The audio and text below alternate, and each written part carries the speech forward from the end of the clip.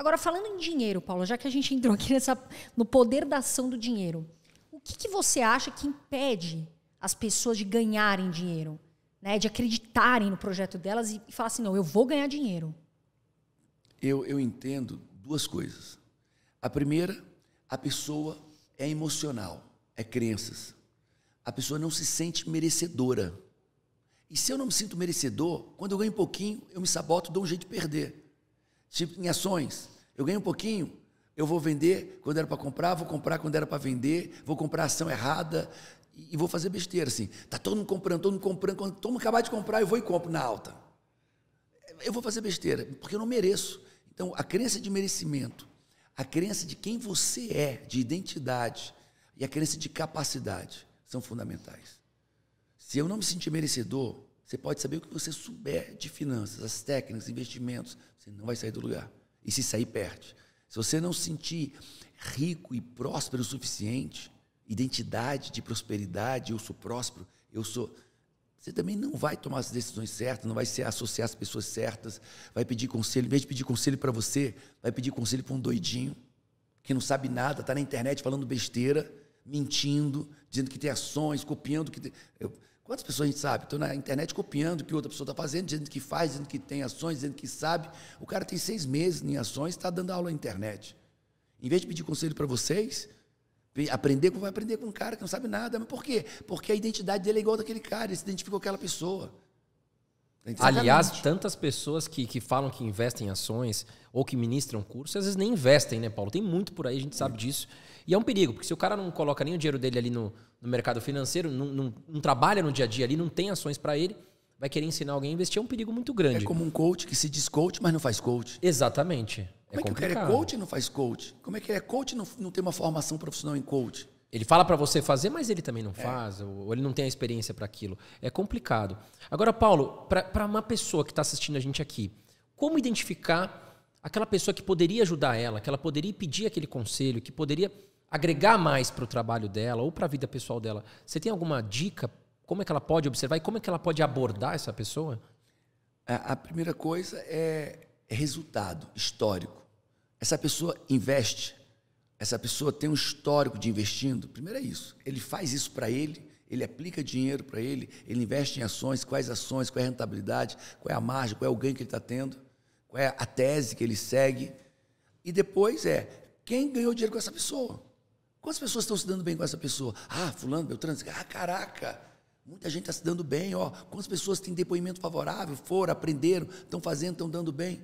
Esse é o primeiro. E o segundo é se a pessoa, a própria pessoa que está ensinando se ela investe e ela tem resultado para ela. Sim. Ô, Paulo, deixa eu te fazer uma pergunta. Você. Porque assim, o que, que eu penso? A pessoa, o Paulo falou uma coisa, eu vou até resgatar.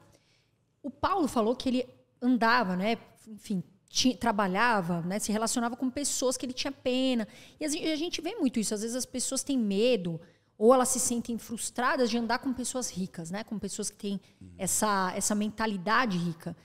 Quais são os hábitos que você, Paulo, que, é, que tem muito sucesso, tem que as pessoas deveriam ter para atingir esse nível de sabedoria?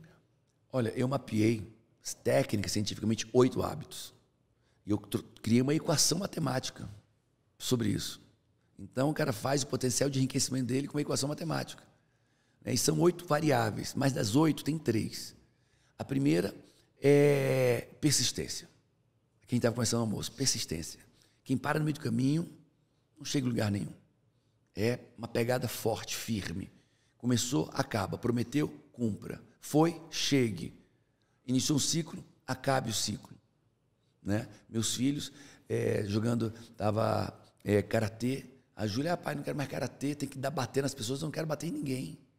Tá bom, filho, você pode parar o karatê, mas agora você vai fechar esse ciclo, mudar de faixa. Quando você mudar de faixa, aí você para o karatê. Ai, pai, filha, você não é uma pessoa que iniciou, que começa e não acaba, que para no meio do caminho. Fecha o ciclo, troca de faixa, e você, no dia da troca de faixa, você para. E ela foi lá, fechou o ciclo, trocou a faixa e parou o karatê. Né? Isso era tudo na nossa vida. Minha família é, é, é uma prerrogativa, é, é, uma chave de família isso. Então, a primeira é persistência, não parar no meio do caminho. A segunda é ambição. Todo dia eu chego, e aí, o que, é que vocês querem para a vida? Onde é que vocês vão chegar? Quem são vocês? Né? Então, assim, qual é o seu sonho? Eu pergunto para mim, qual é o meu sonho? Uma vez, uns cinco anos, seis, sete anos atrás, a Camila chegou assim, nós temos nossos murais da vida extraordinária, as imagens do que nós queremos. E nessa época a gente estava em um apartamento de 220 metros quadrados, quatro vagas, piscina de raia. Puxa, era um luxo para a gente na época, né? Sim. 220 metros quadrados e tal. E aí ela chegou assim, ai amor, eu não vou fazer um mural esse ano não, dos nossos sonhos. Eu disse, por quê? Parece que eu estou sendo ingrata com Deus. Estou sendo ingrata. Eu já tenho, nós temos tanto, muito mais do que a gente imaginou. Aí eu fui, faz sentido. Faz sentido. Faz sentido. Aí eu fui orar, fui ler a Bíblia, fui pensar, fui refletir.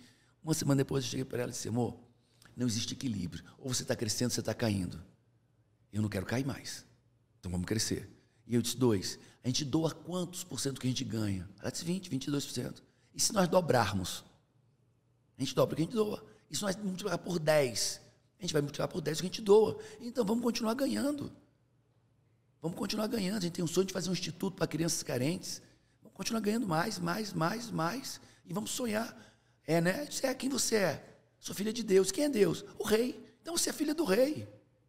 Você é filha do rei. Filha do Deus vivo, do ouro e da prata. Vamos fazer diferença. Vamos ganhar e vamos esperar pessoas ganhando. Com honestidade, com seriedade, com sobriedade. Sem estar rasgando, ostentando, dizendo que é melhor do que ninguém. E está certo, vamos. No dia seguinte, nosso mural estava pronto. E retornamos, retornamos nossos sonhos. Então, a primeira é persistência. A segunda é ambição. Né? É, é sonhar alto. Sonhar. Não é ganância. Ganância é querer subir passando por cima dos outros. Sim. Ambição é querer subir por meio próprio, de forma honesta, lícita.